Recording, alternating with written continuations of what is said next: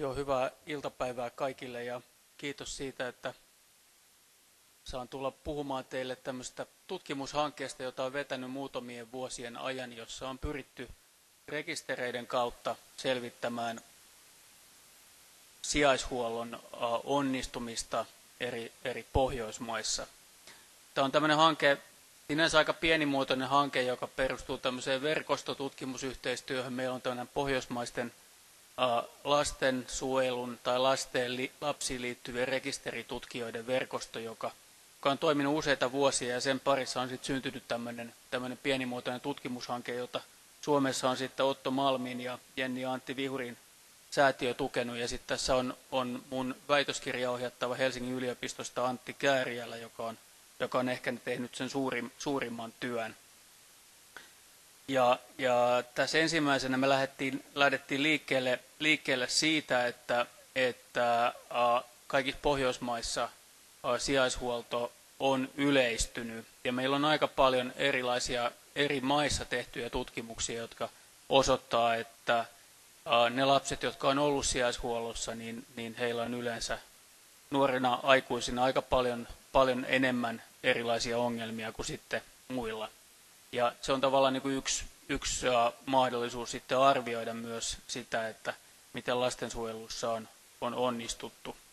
Ja meillä on ollut tämmöisiä vuosittaisia ja, ja kaksi kertaa vuodessa tapahtuneita kokouksia sitten näiden pohjoismaisten tutkijoiden kanssa ja, ja kaksi vuotta sitten me päätettiin, että me lähdetään, lähdetään liikkeelle sitten tässä, tässä tutkimushankkeessa. Tässä on nyt jotain äh, Nososkolta tämmöiseltä pohjoismaiselta tilastoviranomaiselta tuorempia tietoja siitä, että miten sijaishuollossa olevien lasten määrä on kehittynyt eri Pohjoismaissa. Ja me nähdään, että että tässä alkutilanteessa niin ä, Tanskassa on ollut kaikkein korkeimmat luvut. Tanskassa näitä lukuja nostaa osittain se, että niin kuin tuossa alkujuonnossakin viitattiin, niin tilasto, tilastointitavat on erilaisia. Tanskassa sitten ä, syntymästään asti vammaiset lapset ja vammautuneet lapset on sitten mukana tässä, jos he on, jos he on kodin ulkopuolisessa hoidossa. Et sen takia tämä kokonaistaso on Tanskassa vähän korkeampi kuin muissa Pohjoismaissa. Ja Tanskassa kuitenkin on sitten, sitten nämä luvut 2000-luvulla vähän alentunut. Sen sijaan Suomessa on ollut tämmöistä tasasta nousua, samoin kuin myös sit, sit Norjassa. Ruotsissa on ollut, ollut aika tasasta kehitystä, mutta sitten ihan viime vuosina nousua. Ja Islannissa on sitten oltu koko ajan vähän alhaisemmalla tasolla kuin, kuin muissa, muissa Pohjoismaissa. Ja näitä erilaisia tutkimuksia on tehty Pohjoismaissa tosi paljon, mutta, mutta pulmana just se, että miten, miten tota verrata näitä tutkimuksia ja miten saada jotain sellaista yhteenvetävää tietoa. Ja me aloitettiin tämä tutkimushanke sillä, että me lähdettiin tekemään tämmöistä systemaattista kirjallisuuskatsausta, joka on tämmöinen tutkimusmetodi, jossa aineistona on aikaisemmin julkistetut ja vertaisarvioidut tutkimukset, ja niistä pyritään tekemään tämmöistä yhteenvetoa. Ja tämä meidän kirjallisuuskatsaus, jossa ykköskirjoittajana oli tämä Antti Kääriälä, niin ilmestyi tuossa viime toukokuussa tämmöisessä Children and Youth Services Review nimisessä amerikkalaisessa lehdessä. Ja me lähdettiin tätä tekemään, niin, niin tästä systemaattisesta kirjallisuuskatsauksessa ensimmäinen vaihe on aina niin kuin tavallaan miettiä, että mitä artikkeleita ja tutkimuksia otetaan mukaan. Ja me lähtiin niin tutkimaan sitä, että mitä tiedetään sijaishuollossa olevista nuorista nuorina aikuisina Pohjoismaissa. Ja me pyrittiin etsimään myös artikkeleita sitten kaikista Pohjoismaista, mutta ei löydetty ainuttakaan artikkelia Islannista. Eli Islanti rajautui sen takia sitten tämän tutkimuksen ulkopuolelle. Ja me käytettiin näitä pohjoismaisia kieliä ja, ja englantia. Pääasiassa nämä oli englanniksi julkaistu. Ja yleensä tämmöiset tutkimukset on tämmöisiä kohorttitutkimuksia ja me katsottiin semmoisia ikäkohortteja, jotka oli, oli vuonna 1965 tai sen jälkeen syntynyt. Ja ne oli yleensä tämmöisiä rekisteripohjaisia pitkäaikaisseurantatutkimuksia. Oli myös joitakin tämmöisiä kyselytutkimuksia mukana. Mutta ne oli nimenomaan tämmöisiä vertaisarvioituja, tai sitten joissakin tapauksissa oli tämmöisen tunnustetun tutkimusinstituutin tutkimuksen julkaisemia raportteja. Ja me katsottiin semmoisia artikkeleita ja tutkimuksia, jotka oli julkaistu 2000-luvulla. Ensimmäisen lähdettiin liikkeelle tämmöisistä tietokannoista ja käytettiin tämmöisiä hakusanoja, jotka liittyy nyt sitten sit ylipäätään tähän, tähän sijaishuoltoon ja, ja sitten tähän maantieteelliseen, maantieteelliseen alueeseen. Ja niin kuin näissä yleensä on, niin me lähdettiin liikkeelle tosi isosta artikkelimäärästä. Meillä oli aluksi 333, josta nyt sitten heti suoralla kädeltä pystyttiin karsimaan 300 ja sitten 33 katsottiin tarkemmin ja niistäkin 18 sitten karsiutui. Sitten me tutkittiin näiden jäljellä olevien referenssilistoja ja, ja saatiin myös vinkkejä muilta kollegoilta. Ja lopulta meillä oli yhteensä 20 tutkimusta. Ja äh, näissä 20 tutkimuksessa me katsottiin tämmöisen lopputulemina yhdeksää eri, eri kategoriaa. Ja monet näistä tutkimuksista katsoisit useampia eri, eri kategorioita tai lopputuloksia. Ja, ja äh, niin, ante, anteeksi, seitsemän tutki, tutki niin kuin useampia, tai anteeksi, yhtä, yhtä lopputulosta ja muissa oli sitten kahdesta kuuteen näitä lopputuloksia, mitä katsottiin. Ja tämmöisiä koulutuksellisia haasteita, niitä tarkasteli kymmenen tutkimusta. Sitten tämmöistä, mitä me kuvattiin self-supporting problems, joka lähinnä liittyy, liittyy työttömyyteen ja toimeentulotuen saamiseen. Niitä oli yhdeksässä tutkimuksessa. Sitten oli, oli mielenterveysongelmia, rikollisuutta, itsemurhia, teini vanhemmuutta, kuolleisuutta, alkoholia ja aineiden väärinkäyttöä ja, ja sitten sitten viimeisenä kategoriana oli työkyvyttömyyseläkkeitä. Ja siitä muodostui sitten tämmöinen, tämmöinen tota, kaav, tai taulukko, jota mä nyt aio käydä tässä läpi yksityiskohtaisesti, mutta tämä kertoo nyt ne tutkimukset, mitä meillä oli. Ja niin kuin tuossa ehkä, ehkä huomaa, niin, niin pääasia näistä tutkimuksista oli julkaistu Ruotsista, 12 tutkimusta oli Ruotsista. Suomesta oli viisi, Norjasta kaksi ja, ja Tanskasta vaan, vaan yksi ja Islannista ei tosiaan, tosiaan ainuttakaan. Ja me katsottiin myös sitten, ja vähän osan, osana muutakin, muutakin tota, tutkimusta, me katsottiin myös erikseen sitten tämmöisiä joitakin uh, numerotietoja, joissa oli nyt ensimmäisenä katsottu, katsottu koulutusta ja sitä, että miten eri tutkimuksissa nähtiin, että kuinka paljon isompi tai mikä osuus oli esimerkiksi niitä, jotka oli suorittanut pelkästään perusasteen tutkinnon. Tanskassa oli yhdessä tutkimuksessa pää, siis normaali väestöllä 37 prosenttia ja sijoitetuilla oli 80 prosenttia pelkkä perusasteen tutkinto.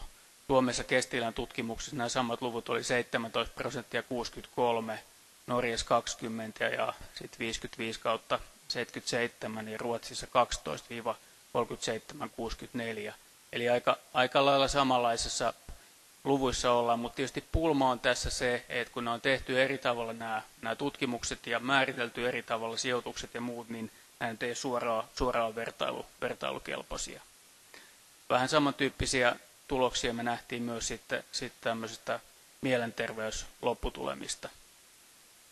Jos katsotaan tätä äh, yhteenvetoa sitten näistä äh, sijoitettuina olleista lapsista tämän kirjallisuuskatsauksen perusteella, niin me nähdään, että äh, niillä nuorilla, joilla on kokemus tästä kodin ulkopuolelle sijoittamisesta, niin on nämä lopputulokset ihan systemaattisesti heikompia kuin muulla väestöllä.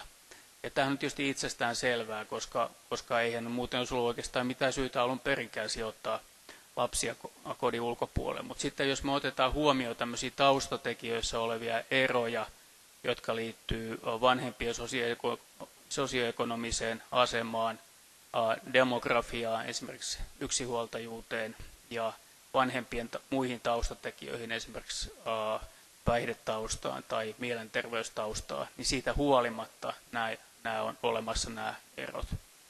Ja tietysti ei voida sanoa, että, että me voitaisiin ottaa kaikki, kaikki tämmöiset taustatekijöissä olevat erot huomioon. On joitain semmoisia tutkimuksia, mä tiedän kaksi tämmöistä tutkimusta, jotka on tehty toinen Kanadassa ja toinen Yhdysvalloissa, jossa on ikään kuin pyritty arvioimaan tätä sijaishuollon niin kuin kausaalivaikutusta tässä Kanadassa ja Yhdysvalloissa tehtiin semmoinen tutkimus, jossa otettiin niin kuin huomioon se, että eri sosiaalien työntekijät sijoittaa eri määrän lapsia sijaishuoltoon, siis niistä ikään kuin siitä caseloadista, joka tulee heidän, heidän tarkasteltavakseen, niin he sijoittaa eri määrän. Ja ottamalla tämä asia huomioon, niin pystyttiin tavallaan tarkistamaan sitä, että siinä marginaalissa, että ikään kuin, että jos tämä lapsi olisi tullut tälle toiselle, toiselle työntekijälle, niin silloin häntä ei olisi sijoitettu. Ja sitten tämmöisellä seurannalla on pystytty näkemään, että, että tämä sijaishuollon vaikutus ei aina ole, ole myönteinen. Esimerkiksi silloin, kun katsotaan vaikka toimeentulotuen saamista. Toinen tämmöinen tutkimus, joka tehtiin Kanadassa, niin se liittyy semmoiseen vähän samanlaiseen tapaukseen kuin Suomessa oli tämä, tämä Erika-tapaus. Eli siellä oli tämmöinen kuusivuotias poika, joka, jonka, jonka äiti käytännössä tappoi tämän pojan ja sen jälkeen siellä käynnistyi tämmöinen vielä paljon tiukempi keskustelu kuin Suomessa. Ja siellä oli tämmöisen tuomarin tekemä selvitys ja tämän selvityksen jälkeen tuli tiukat ohjeet, jonka jälkeen tapahtui tämmöinen niin kuin iso hyppäys sijoituksissa. Ja tätä, tätä systemaattista muutosta niin voitiin ikään kuin ottaa tämmöisenä ulkopuolisena tekijänä huomioon ja katsoa sitten, että miten ne lapset pärjäsivät, jotka oli sijoitettu tämän, tämän muutoksen, tämän, tämän Matthew-nimisen pojan tapauksen jälkeen. Siinä myös huomattiin, että lastensuojelulla ei ollut välttämättä näissä marginaalitapauksissa hyvää, hyvää vaikutusta. No tietysti tämä on yksi, yksi, yksi vaihtoehto, yksi mahdollinen selitysmalli näille tuloksille. Toinen selitysmalli on sitten se, että, että lasten taustoissa on, on alun perin jo jotain sellaista niin isoja, niin isoja eroja, että, että lastensuojelu ei voi mitenkään niin kuin kompensoida niitä. Ja jolloin tavallaan semmoinen yleinen tuki, ei pelkästään lastensuojelu, vaan niin kuin yleinen tuki sitten vaikeuksissa oleville lapsille niin, niin pettää. No kolmas selitysmalli on sitten se, joka liittyy siihen, mitä tapahtuu tämän lastensuojelun sijoituksen jälkeen. Eli onko niin, että tavallaan nämä tulokset, joita me nähdään tässä, jotka yleensä, joita yleensä havainnoidaan ehkä silloin, kun nämä lapset on 25-35-vuotiaita, niin onko tavallaan niitä aiheuttamassa ne asiat, jotka on tapahtunut sen jälkeen, kun tämä sijoitus on päättynyt ja sen jälkeen, kun mahdollinen jälkihuolto on päättynyt. Kaikissa Pohjoismaissa, esimerkiksi Ruotsissa ei ole jälkihuoltoa. Ja, ja se on tietysti yksi asia, jota, jota, jota on vähän, vähän tutkittu joka saattaa olla, olla, olla yksi, yksi syy. No siis jos katsoo näistä tuloksista sit jotain semmoista niin kuin se, mikä on niin kuin yhdenmukaista ja systemaattista on se, että, että pojat yleensä pärjää, sijoitetut pojat pärjää huonommin kuin sijoitetut tytöt, ja ne, jotka on sijoitettu teini-ikäisinä, ne pärjää heikommin kuin, kuin sitten nuorempina sijoitetut. Ja ne, jotka on sijoitettu sijoisperheisiin, yleensä pärjää huonommin esimerkiksi koulutuksen ja työllisyyden mittareilla kuin ne, jotka on ollut esimerkiksi perhekodeissa, joka toisaalta tietysti voi johtaa, johtua siitä, että on ollut erilaiset perusteet näille, näille sijoituksille. Mutta tässä oli tavallaan niin kuin se, mitä me pystyttiin katsomaan niin kuin sen perusteella, mitä tällä hetkellä kirjallisuudessa tiedetään näistä, näistä tota, sijais, sijaishuollon onnistumisesta tai, tai näiden, näiden sijaishuollon kokeneiden nuorten elämästä sitten sijaishuollon päättymisen jälkeen. No, se ongelma on tietysti se, että, uh, että me on, näistä on todella vaikea, vaikea niin kuin, uh, vetää mitään kovin yleisiä johtopäätöksiä. Ja eikä, eikä ainakaan semmoisia niin kuin eri mais, maita koskevia, koska, koska nämä, nämä uh, lastensuojelutoimet on erilaisia eri, eri maissa. Ja tietysti myös sit se, että kun, kun tehdään tätä niin sanottua kontrollointia, niin, niin eri maissa käytetään erilaisia kontrollointitekijöitä, käytetään näissä tutkimuksissa erilaisia seuranta-aikoja ja sitten käytetään myös erilaisia tilasto, tilastomenetelmiä näiden lopputulosten arvioinnissa. Ja tästä oikeastaan sai sitten alkuunsa sitten tämä Pohjoismaiden projekti ja me havaittiin, että, että kolmessa tai ehkä neljässäkin Pohjoismaassa, myöhemmin sitten katsot tarkemmin sanottuna vain kolmessa, niin oli saatavissa tämmöinen ikäkohortti vuonna 1987 syntyneistä nuorista. tiedätte varmaan, että meillä on Suomessa juuri tämä 87 ikäkohortti on se, josta THL on koonnut tämmöisen hyvin kattavan tietokannan tai, tai rekisteri, jossa on seurattu, hankittu ensin tietoja näiden, näiden 87 syntyneiden vanhemmista, perheestä ja sitten sen jälkeen joka, joka ikiselle vuodelle eteenpäin sit seurattu näiden, näiden tota, lasten ja nuorten elämää erilaisilla rekistereillä. Tässä on useita kymmeniä rekistereitä. Niitä muuttujia taitaa olla yhteensä joku, no jossakin vaiheessa niitä oli ainakin 2000 erilaista muuttujaa. Siis periaatteessa 2000 muuttujaa jokaiselle vuodelle 57 000 nuorelle, niin se kertoo jotain siitä, että kuinka iso tämä, iso tämä tietokanta on Suomessa. Ja samantyyppisiä tosiaan saatavilla Ruotsissa ja myös Tanskasta. Ja tämmöisessä niin kuin ideaalitilanteessa niin meillä olisi ollut mahdollisuus ikään kuin yhdistää nämä rekisterit ja sitten tehdä tämmöisiä ajoja sit siitä yhdistetystä rekisteristä, mutta, mutta se ei ole mahdollista tietosuojasyistä, että niin, näitä tämmöisiä kansallisia tietoja ei saa, ei saa luovuttaa eikä niitä pystytä yhdistämään, jolloin, jolloin me lähdettiin tekemään tätä sillä tavalla, että me sovittiin tämmöistä tutkimusryhmistä, siis siitä, että minkälaisia, minkälaisia nuorten ryhmiä me tarkastellaan ja sitten analyysimetodeista ja, ja myös näistä kontrollimuuttujista. Ja tällä hetkellä me ollaan siinä vaiheessa, että meillä on nyt tämmöinen yksi, yksi tutkimus valmistunut, jota nyt on esitetty. Sitä esitettiin nyt, nyt ensimmäisen kerran, tämän, tai meillä oli toukokuussa tutkija tapaaminen, jossa näitä tuloksia ekan kerran esiteltiin ja nyt sitten vähän avoimemmin sitten tämmöisessä lastensuojelun konferenssissa Haagissa tämän kuun alussa. Ja tässä artikkelissa on myös tuo Antti Kääriälä ykköskirjoittajana. Ja sitten siellä on Tanskasta Mette Lausteen ja Ruotsista Mari Berlin ja mun lisäksi sitten Tiina Ristikari THLstä ja Tiina on, on vastuuhenkilö tai 87 ikäkohortille. Ja ensimmäisenä me haluttiin katsoa tätä, tätä koulutusta sen takia, että koulutus on se tekijä, joka hirveän paljon selittää sitä, että minkä takia a, sijaishuollon kokeneet lapset ja nuoret pärjää sitten heikommin myöhemmässä elämässä. Eli se koulutus on silloin tämmöinen ihan selvä kausaalivaikutus moneen, moneen lopputulemaan, kuten nyt sitten vaikka tähän itsenäiseen selviytymiseen, työllistymiseen, mielenterveysongelmiin ja moniin, moniin muihin. Haluttiin katsoa, että millä tavalla nyt sitten tässä koulutusasiassa, minkälaisia eroja nyt sitten on, on eri, eri Pohjoismaiden välillä. Ja me lähdettiin mittaamaan tätä koulutusta sillä, että, että mikä on niiden osuus, jotka saa pelkästään sen, tämän perustason tutkinnon. Ja kun me tiedetään Suomessakin, niin meillä on tosi vähän niitä, jotka keskeyttää peruskoulun, että, että voi sanoa, että käytännössä kaikki suorittaa peruskoulun, mutta se iso kysymys on sitten se, että, että saako jonkun tutkinnon peruskoulun jälkeen. Ja se oli tavallaan tässä se mittari, että verrattiin sitä, että mikä on niiden nuorten osuus, jotka ei suorita sitten toisen asteen tutkintoa.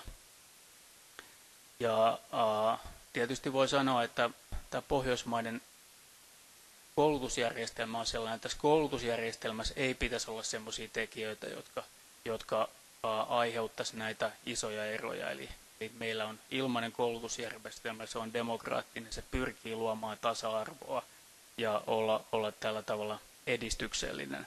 Ja se pyrkii, pyrkii myös takaamaan yhdenvertaiset mahdollisuudet taustoista huolimatta. Ja äh, me, näillä kaikissa, kaikissa Pohjoismaissa on myös sit se sama systeemi, että tämä peruskoulutus kestää suurin piirtein siihen, kun lapset, lapset täyttää tai nuoret täyttää 16, ja sitten tavallaan sen jälkeen alkaa tämä toisen asteen tutkinnon suorittaminen, joka kestää yleensä kolme vuotta. Ja tämän toisen asteen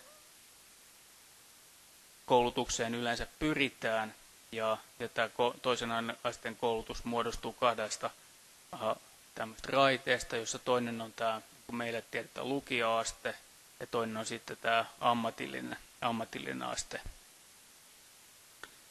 Ja äh, tässä niin kuin, ihan niin kuin tämän lastensuojelun tontin ulkopuolellakin me tiedetään, että jos ei ole mitään muuta kuin toisen asteen, tai ei ole, ei ole sitä toisen asteen jälkeistä tutkintoa, niin mahdollisuudet työmarkkinoilla on tosi heikot. Tämä työllisyysaste on se, mistä paljon puhutaan, niin jos katsotaan tällä hetkellä työmarkkinoilla olevia suomalaisia, niin työllisyysaste niillä, joilla ei ole mitään muuta kuin peruskoulu, niin se työllisyysaste on naisilla noin 40 prosenttia ja miehillä sitten muutaman, muutaman prosenttiyksikön korkeampi. Eli selvästi alle puolet pelkästään perusasteen tutkinnon suorittaneista on, on työelämässä. Ja me tiedetään myös, että yleisesti ottaen nämä, nämä ä, sijoitetut lapset, niin heidän, heidän koulutustasonsa jää, jää tota, alhaisemmiksi kuin muilla. Mutta kuinka paljon ja miten nämä maat vertaituu, niin se on niinku tavallaan ollut tässä sitten se, se ää, ää, tutkimuskysymys. Alun perin me pyrittiin myös ottaa mukaan tähän Norja tähän hankkeeseen, mutta Norjassa sitten ei ollutkaan ihan tämmöistä tämmöistä kohorttia käytettävissä, jolloin me, me oli pakko tarkastella nyt sitten vain, vain Tanskaa ja Suomea ja, ja Ruotsia. Ja tämä ikäkohortti, joka meillä oli käytö, äh, käytössä, niin oli, oli tosiaan tämä 87, ja siinä oli Tanskassa vähän vajaa 53 000, Suomessa vähän vajaa 60 000 ja Ruotsissa vähän vajaa 100 000. Ja tuossa on myös sitten noi, noi luvut niistä nuorista sitten, jotka, tai lapsista nuorista, jotka oli, oli sijaishuollossa sitten tämän, tämän seuranta-aikana. Ja me luotiin sitten tämmöisiä uh, niin kuin ryhmiä, joissa me tarkasteltiin niin kuin lasten pärjäämistä. Ja ensimmäisenä oli se, että oli ylipäätään kokemus tästä sijaishuollosta. Toinen oli, oli sitten tämmöinen tutkimusryhmä, oli ne, jotka oli, oli ensimmäisen kerran sijoitettu ennen kuin, ennen kuin he täytti 13 vuotta ja oli sijoitettuna enintään vuoden. Ja sitten oli tämmöinen sama ikäryhmä, mutta oli, oli oli enemmän kuin vuoden, mutta sitten vähemmän kuin viisi vuotta sijoitettuna. Ja sitten oli tämmöinen kolmas ryhmä oli se, että, että oli nuorena sijoitettu tai siis alle 13-vuotiaana vähintään viisi vuotta, eli tämmöinen pitkä, pitkä sijoitus. Ja sitten neljäntenä oli nämä, tämä erityisryhmä, että oli sijoitettu teini-ikäisenä. Tässä ei ollut niitä kestoja sinänsä, koska teini-ikäisenä jos sijoitetaan, niin silloin, silloin tota, se sijoituksen kokonaiskesto ei voi olla kauhean pitkä. Ja me käytettiin kontrollimuuttujina tietysti sukupuolta. Sitten me oli tieto myös äidin koulutuksesta, ja tämä tieto oli 2000-luvulta.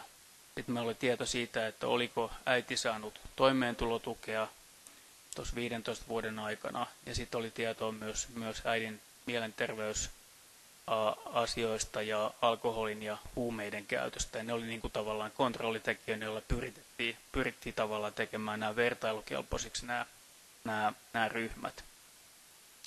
Ja tässä tapauksessa me käytettiin tämmöistä lopputuleman muuttujaa, että ei ollut suorittanut toisen asteen tutkintoa, joka oli määritelty tämmöisellä kansainvälisellä koulutusmittarilla ISCED taso kolmella niin vuoden 2010 loppuun mennessä. Eli silloin kun nämä oli, oli 23-vuotiaita nämä, nämä kohorttilaiset. Ja, ja sitten käytettiin tämmöistä tilastollisena menetelmää tämmöistä kuin average marginal effect. Tässä nyt näkee se, että miten nämä niin kuin jakautuu nämä, nämä ryhmät maittain näihin, näihin tutkimusryhmiin. Me nähdään, että Tanskassa tämä osuus on ollut kaikkein korkein ja, ja, ja Suomessa se on ollut, ollut tällä aikavälillä sitten kaikkein, kaikkein uh, matalin. Aika samalla tasolla kuitenkin kuin Ruotsissa. Ja maittain nämä jakautuu melko tasaisesti näihin, näihin eri ryhmiin. Ja tässä on sitten, sitten ihan nämä pelkät perusluvut. Ja me nähdään, että näissä perusluvuissakin on aika isoja eroja maiden välissä.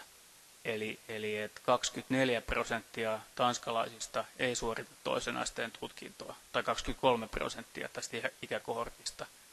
Ja me paljon pohdittiin, että mistä tämä sitten mahtaa johtua, koska mehän ollaan Suomessa kauhean huolestuneita siitä, että meillä on paljon näitä, näitä tota, nuoria, jotka, jotka ei ole suorittanut toisen asteen tutkintoa, mutta ainakin tässä 8 7 ikäkohortissa niin meillä tämä osuus oli kaikkein pienin. Ja, ja se oli korkeampi sitten Ruotsissa 17 prosenttia. Ja sitten vastaavasti tuossa on, on näissä, näissä tota, että on, ollut, on tämä sijaishuollon kokemus, niin me nähdään, että selvästi korkeammat näillä kaikilla, mutta tuossa järjestys säilyy, eli siellä on Tanska korkein sitten, sitten Ruotsi ja sitten, sitten Suomi. Sitten jos me katsotaan tässä koko, koko ryhmässä, jossa, jossa nyt on laskettu tämä, tämä keskimääräinen marginaalivaikutus, joka kertoo, että kuinka paljon korkeampi tämä todennäköisyys on näillä sijoitetuilla sille, että ei ole mitään muuta kuin tämä perusasteen tutkinto. Ja tässä, tässä tota kuviossa niin tämä ensimmäinen kertoo semmoisen tilanteen, että ei ole, ei ole tehty näitä, ei ole otettu näitä kontrollimuuttujia huomioon. Ja sitten nämä, nämä tota viikset tässä ne kertoo tämmöisen 95 prosentin luottamusväliin, eli, eli jos me nähdään, että näiden, näiden välillä on, on tota ilmaa, niin silloin me voidaan sanoa, että se on tilastollisesti merkitsevä ero.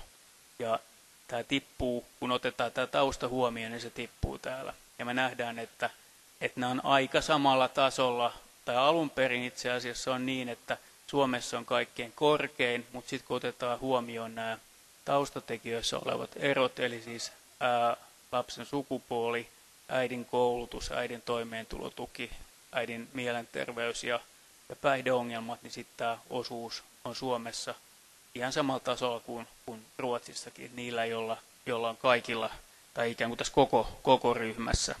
Sitten jos me katsotaan näitä tuloksia sitten ikään kuin näiden ikäryhmien mukaan, eli, eli sijoitettu pienenä lyhyeksi aikaa, niin siellä, siellä Tanska on huono, huonommassa tilanteessa ja sitten, sitten Suomi ja sitten, sitten Ruotsi.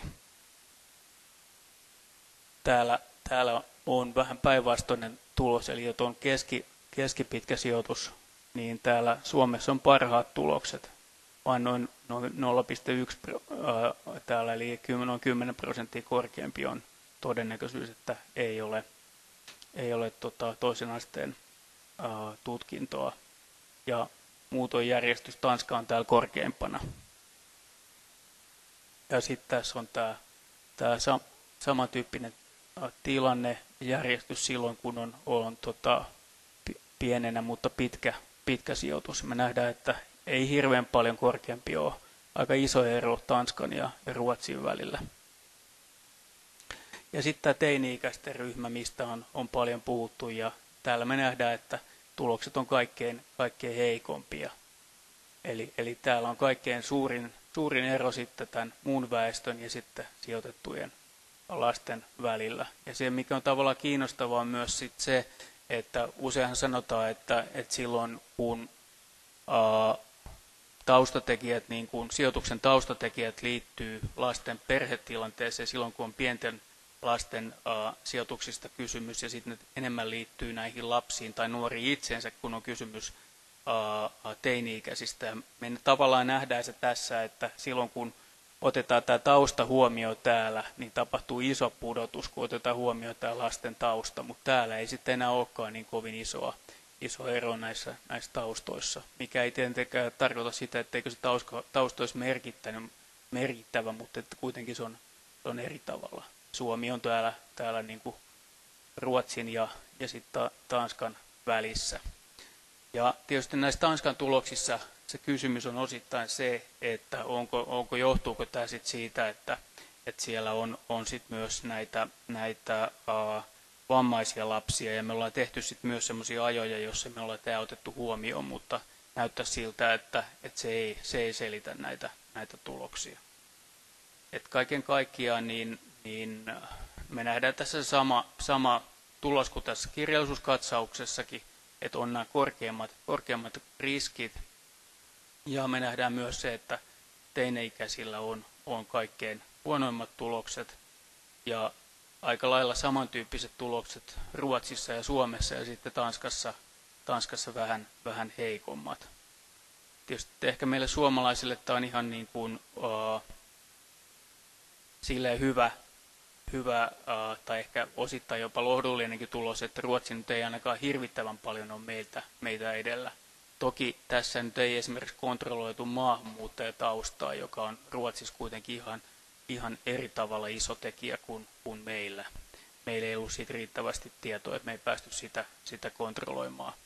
Et jos me katsotaan maahanmuuttajien osuutta tästä 87 ikäkohortista, vertaa Suomea, Norjaa ja, ja Ruotsiin, niin meillä on kuitenkin selvästi, selvästi alhaisempi tämä, tämä osuus. Uh, Mutta mut kaiken kaikkiaan tietysti lopputulos on se, että et kaivataan paljon tukea tähän, tähän koulutuksen loppuun saattamiseen ja siihen, että, että sijaishuollossa olevat lapset ja nuoret etenisivät sieltä peruskoulusta sitten tälle toiselle, toiselle asteelle. Ruotsissa on tehty tämmöisiä tapaustutkimuksia ja on myös sitten tutkittu erilaisia interventioita ja niiden, niiden vaikutusta ja, ja siitä on saatu ihan lupaavia, lupaavia tuloksia ja nyt ainakin tämän tutkimuksen perusteella niin tämä on just se suunta, johon pitäisi mennä ja johon pitäisi satsata enemmän, että, että olisi mahdollisuutta sijoittaa tai, tai suorittaa näitä, näitä tota, toisen asteen tutkintoja. No se, miksi, miksi, mikä siinä on sitten tavallaan niin kuin taustalla, että, että näin, näin tapahtuu, että sijaishuollossa olevat lapset ää, ei sitten pärjää koulutuksessa yhtä hyvin, niin siihen tämä tietysti ei vastaa tämä meidän tutkimus. Me voidaan lähinnä spekuloida sitä, että, että liittyykö se tavallaan siihen, että, että on joutunut vaihtaa usein koulua, liittyykö se koulukiusaamiseen, liittyykö se negatiivisiin kokemuksiin oppimisesta tai liittyykö se sitten jotenkin, jotenkin johonkin muihin, muuhun esimerkiksi johonkin alidiagnostisoituihin aa, aa, aa, kehityksen ongelmiin tai johonkin tämän tyyppisiin asioihin. Mutta nämä on sellaisia, johon kannattaisi kiinnittää huomiota, koska, koska tämä on todella, todella tärkeä tekijä, tämä koulutuksen loppuun saattaminen. Luulen, että mä varmaan päätän tähän ja, ja voin mielelläni vastata johonkin kysymyksiin, jos sellaisia herää. Kiitos.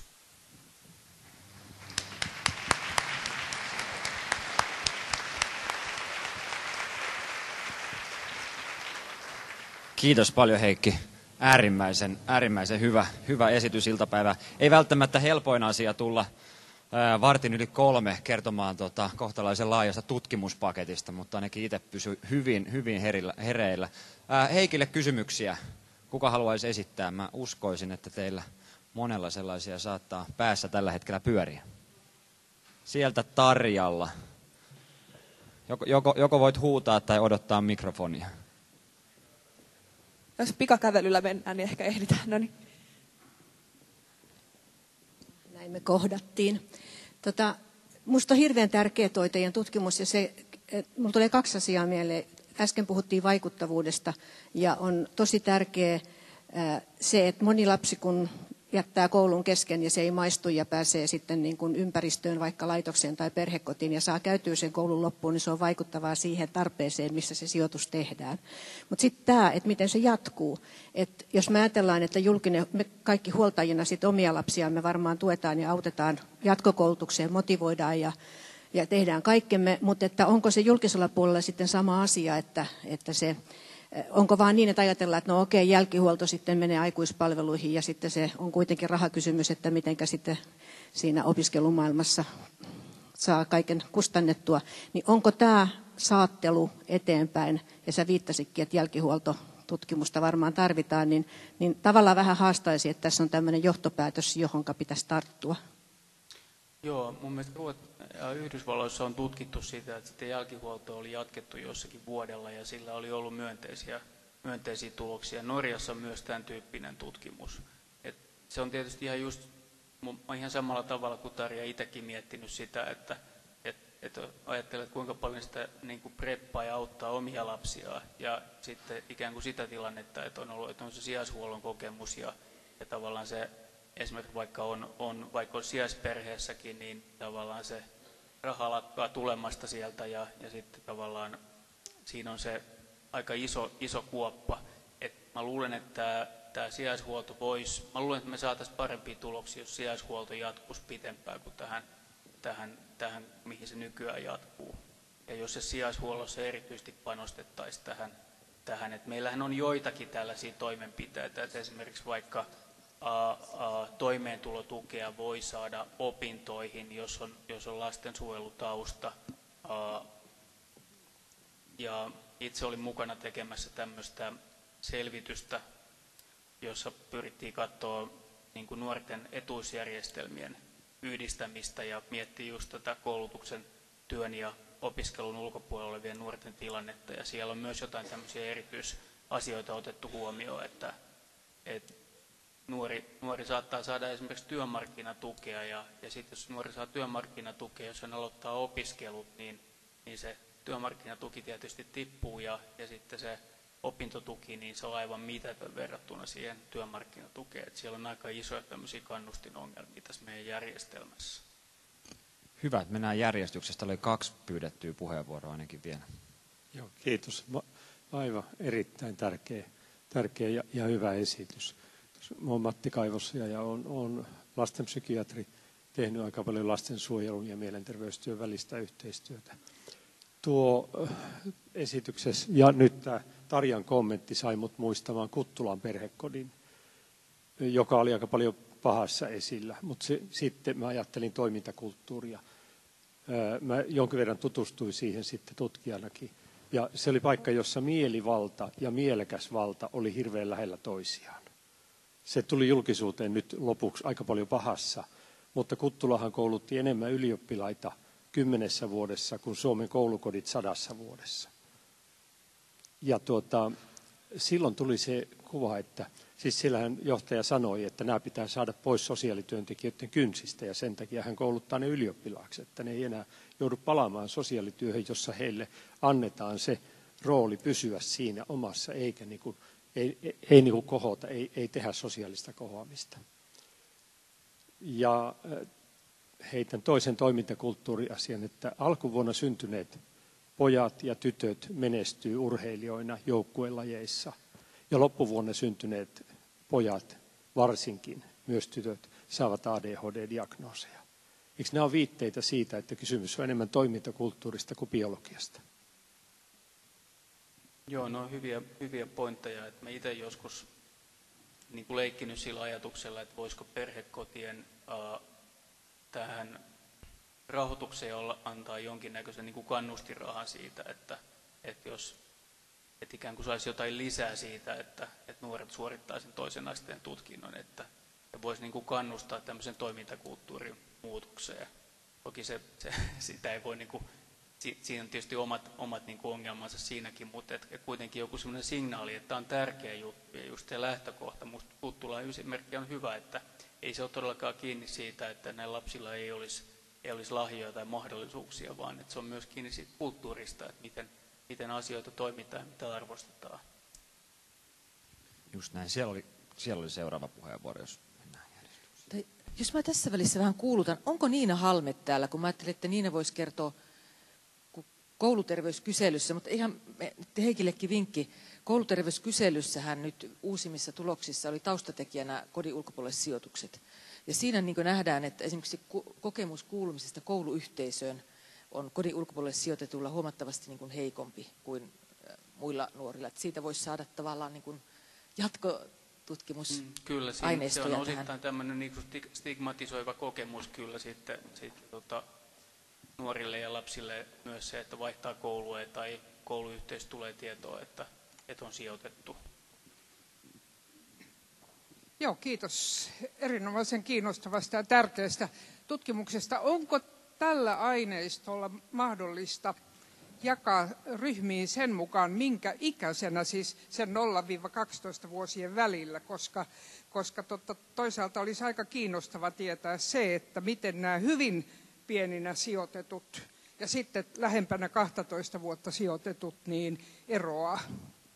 Joo, kyllä se on periaatteessa mahdollista, että ne on tietysti aika pieniä ne ryhmät silloin, että sen takia, sen takia me, me päädyttiin sitten tuohon, tohon, että, mutta siitä olisi ihan mahdollista katsoa, että, että luulen, että jos tuolle Antille sanon, niin se pystyy sen laskemaan ihan, ihan tota, muutamassa tunnissa. Että mä en osaa suoralta kädeltä sanoa, miten se Suomesta tulee, mutta, mutta näin muiden näiden vertailu, vertailun tekeminen on aika työlästä, koska tota, se täytyy aina erikseen sitten jokaisessa maassa sitten, sitten ajaa. Ja, ja tota, näitä on tehty useampaa kertaa, koska näissä on aina semmoista pientä säätämistä, että ennen kuin, ennen kuin ne saa sitten ihan kohdalleen.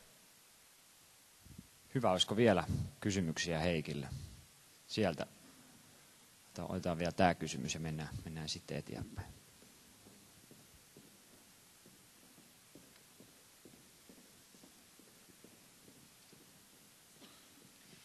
Eli Niina Halme THLstä. Kiitos siitä, että tämä esitys nostaa erittäin tärkeitä näkökulmia esiin varmasti tämän LAPE-kehittämistyön näkökulmasta. Ja niin kuin Maria-Kaisa tuossa omassa kommentissaan viittasi, niin meillä on nyt käytettävissä kouluterveyskyselyn 2017 vuoden osalta. Löytyy netistä ja verkkosivujen kautta tietoa näiden kodin ulkopuolelle sijoitettujen lasten hyvinvoinnista verrattuna muiden nuorten hyvinvointiin, että kannattaa käydä katsomassa sieltä.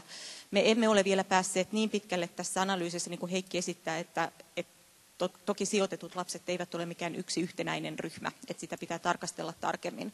Mutta ö, oikeastaan vahvistaa tavallaan tuon kohorttitutkimuksen tuloksia siitä, että ö, tavallaan näillä LAPE-tavoitealueilla, niin sijoitetulla lapsilla on monenlaisia haasteita, eli he kokee enemmän juuri kiusaamista, se kouluyhteisöön, luokkayhteisöön kiinnittyminen on, on vähän heikompaa ja samoin vuorovaikutussuhteet, yksinäisyys muihin nuoriin. Mutta se, mikä on positiivista ja ehkä nostaa sitä asiaa, että ollaan tehty hyvää työtä myös sijoitettujen lasten kanssa, on se, että, että ainoastaan 10 prosentilta puuttuu, 8-9-luokkalaisista puuttuu suunnitelmat siitä, että mitä he meinaavat tehdä peruskoulun jälkeen, kun puhuttiin tästä toisen asteen koulutuksesta.